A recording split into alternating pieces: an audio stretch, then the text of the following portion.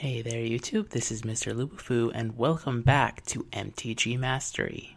Today we're going to be covering Tempest Block, which for the sake of continuity, the story from the set of Weatherlight is also encapsulated here. So this is going to be a slightly longer episode, but seems you guys enjoy the story. Anyway, let us begin. 4,000 years after Urza and Mishra reopened the portal to Phyrexia, the evil Lord Yawgmoth sits poised to invade his one time home, Dominaria. The plane's only hope for survival is a cache of powerful artifacts known collectively as the Legacy Weapon. When put together, they assemble a powerful doomsday weapon. These artifacts will have the potential to destroy the dark powers that will try to invade the planet. The focal point of this weapon is a flying ship called the Weatherlight, and its intrepid crew searches the planes to find all the pieces of the legacy before the invasion commences. Only the reluctant leadership of Captain Gerard Capashen and the skills of Minotaur First Mate Tar- Tahngarth, ship's navigator Hanna, Samite healer Orim, Goblin cabin hand Squee, Mirri, a cat warrior, Ertai, an arrogant wizard adept, Karn, a mechanized golem, Crovax, a cursed nobleman, and Starke, a guide, can save the day. But wait, you must be asking, wasn't the captain of the Weatherlight Sisay? Didn't she save the day from mortal danger just last episode? Well, Sisay's been kidnapped, and now they have to travel to the plane of Rath to save her before they can complete their destiny. And Gerard, of course, will have to live up to his own overwhelming responsibilities by facing his blood brother, Vuel. Now, Vuel, for lack of a better term, is a total jerkface McGee. It's his fault that the pieces of the legacy were scattered in the first place. Karn had been storing them for Gerard until he was ready to use them, but Vuel kinda ruined that plan. He swore revenge on Gerard for no real reason apart from him being a jerk, he travels to Rath and changed his name to Volrath and sold out any semblance of goodness he had by becoming Yawgmoth's first in command. Turns out Volrath is the one who kidnapped Sisay because jerkface McGee. So the crew finally arrives on Rath, only to find, guess who, Volrath waiting for them in his own ship, the Predator. Commanded by Greven il-Vec, the Evincar's magically mutated enforcer. As the battle rages across decks and railings, the nobleman Crovax glimpses Selenia, the angel who once protected his manor, as she dives in and out of combat.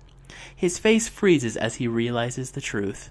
Selenia now serves Volrath. The sword that defended his family now slays his allies.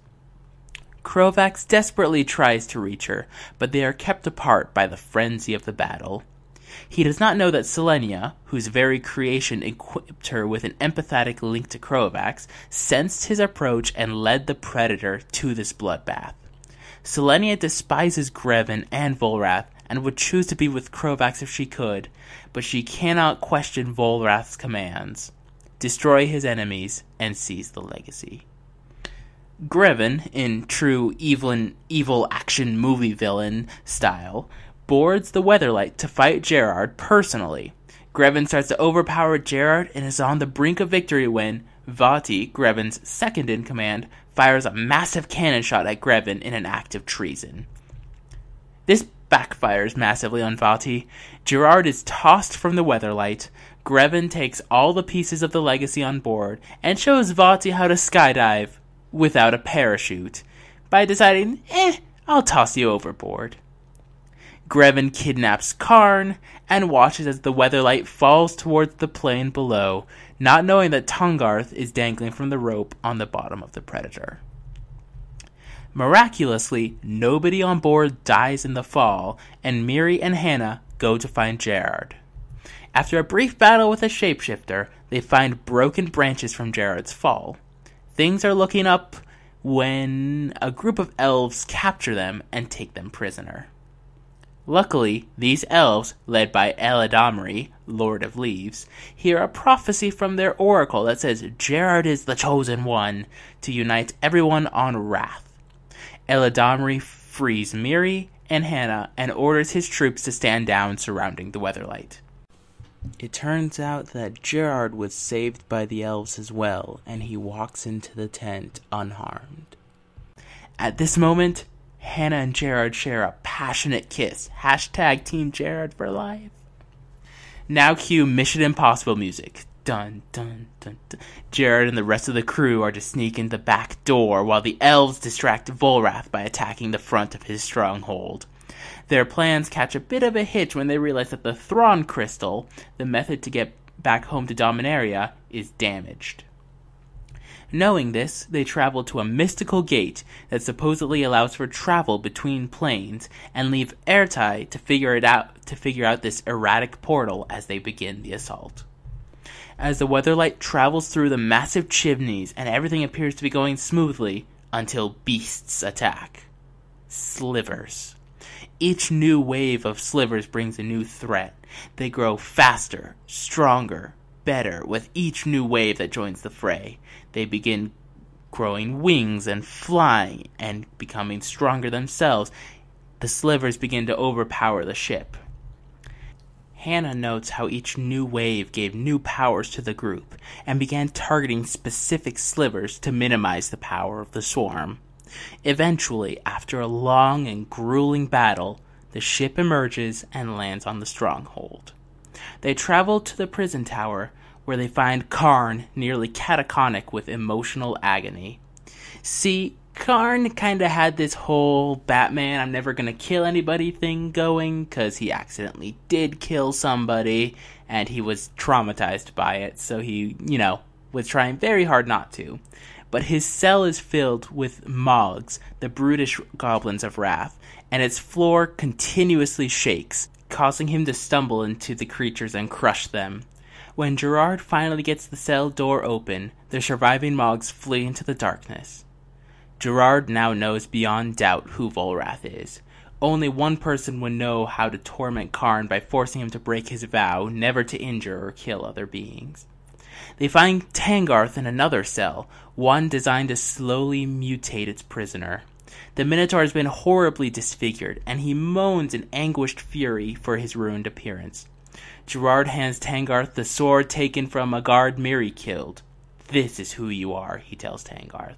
Not your horns, not your bones, your sword. Tahngarth gratefully accepts the weapon and continues with Gerard. The band hurried, hurriedly searched the rest of the cells for Sisay and Starke's daughter, Takara, who's also been kidnapped, but they find only the twisted result of Volrath's experiments. In a barren laboratory, they finally find Sisay imprisoned in a glass cylinder. Gerard wants to repay the debt of loyalty to his friend, but fears that simply breaking the glass to open the cylinder could cause her harm. After an unsuccessful search for a release method, However, he reluctantly falls back on brute force to free her. Sisay tumbles out, disoriented, but before Gerard can take her outstretched hand, Mirri hisses and slashes it open. Sisay shrieks and shapeshifts into a mass of biting tentacles, which quickly escapes. Shaken, but grateful for Mirri's keen sense of smell, the search party presses on to the dream halls. As they climb higher and step onto a new bridge, a blur from above hurtles towards Crovax, Selenia. Mirri instinctively leaps forward. The Dark Angel slashes open Mirri's abdomen and prepares to deliver the death blow. Crovax wildly flails his sword at Selenia, weeping for all he has lost. She also sobs as she defends herself, and then suddenly freezes, deliberately allowing one of Crovax's wild swings to strike home. She explodes in a burst of black and white mana that swirls around Crovax and forces its way into his body. Selenia's destiny is fulfilled, Crovax's curse is set in motion, and he is ultimately condemned for killing all that he loves. He collapses onto Selenia's sword and grows pale as death, but his breathing continues as fangs push their way through his gums. He's become a vampire. Gerard, meanwhile, decides that Karn and Tahngarth must take Mirri and Crovax to the ship and remain there, while he and Starke continue to search for Sisay and Takara. Karn and Tahngarth work their way to the Weatherlight. Karn, Karn pauses, He senses the legacy, which can only mean that the pieces are assembled and close by. This is far too important to leave behind, and the two separate. Tahngarth carries Mirri and Crovax to the ship, and Karn follows the pull of the legacy. Karn finds the artifact guarded by the Sliver Queen, a, gar- a gar- gargantuan beast that constantly generates baby slivers. She rears up to attack, but he points to the legacy and tells her they are a part of him. He demonstrates how the pieces fit inside of him, and she understands by, res- by summoning her slivers back to her body. She allows Karn to reclaim the legacy. Back at the portal, Ertai strikes a bargain with Lyna, a Soltari emissary. The Soltari will help the young wizard open the portal so the Weatherlight can escape. In return, he will hold it open long enough for them to also escape Rath and the half life they endure there. The Soltari had been living a half life, trapped in the shadows and wanted to be free. Lyna goes to tell the Weatherlight's crew what is happening. Just as Lyna delivers her urgent message, Tahngarth, fresh from captivity, returns with the Crovax and Mirri and delivers them to the ship's healer below decks. The Minotaur quickly informs Hanna of the search party's new plan to rendezvous with the Weatherlight in Volrath's gardens, then races back to rejoin them. Karn also returns, bearing the pieces of the legacy. Among them is the Sky Shaper, a powerful device that can boost the ship's Thran engine. The Weatherlight immediately sets sail for the gardens, only to be attacked by the Predator. It tethers the Weatherlight with harpoon lines, but Hanna uses this against it, swerving into a series of daring turns to smash the larger ship against the stronghold supports. Greven il-Vec orders the lines released. The Weatherlight surges forward free. However, Greven dispatches two ornithopters to harry the ship. Below deck, Karn busily attempts to fit the Skyshaper into the engine. Outside, resistance to the Evincar has become revolution, and the stronghold itself is under assault. The tribes of Rath strike at Volrath's Mog troops and regroup for a strategic withdrawal. Meanwhile, Gerard and the newly found Sisay and Takara and Starke and Tahngarth are making for the rendezvous. The Weatherlight has a slight lead over the pursuing predator, and Crovax, hideously transformed, is half mad from the voices in his head. The last of his humanity drains from him. He staggers on deck, followed quietly by a suspicious Mirri. He climbs onto the mechanism that controls the ship's sails and begins clawing at it in an attempted sabotage. Mirri hurls himself at him, and the pair tumble over the side of the ship to the gardens below, fighting even as they fall. Gerard emerges from the trees and comes upon the duel between the injured cat warrior and mad noble. He is unable to intervene, however, and enraged Greven confronts him and a second lethal duel erupts. Faced with the impossible task of both defeating Greven and helping Mirri in time to escape, Gerard breaks away from Greven and must make a horrible choice. Attempt to help Mirri and risk both the legacy and the entire crew's lives, or make for his ship attempt an escape, and leave Mirri and Crovax to their shared fate. Agonized by his choice, he returns to the Weatherlight with a furious Greven in pursuit. Augmented by the Skyshaper, the Weatherlight outruns her pursuers to the portal, which opens as planned. Both the ship and the Soltari escape, but the planeswalker Urza deactivates the portal to prevent further pursuit. Ertai is stranded on the wrong side even as he makes good to his crewmates' escape. He is captured by the Predator, where Greven now controls his fate. Urza now must contemplate his next move. And with that, the Wrath cycle ends.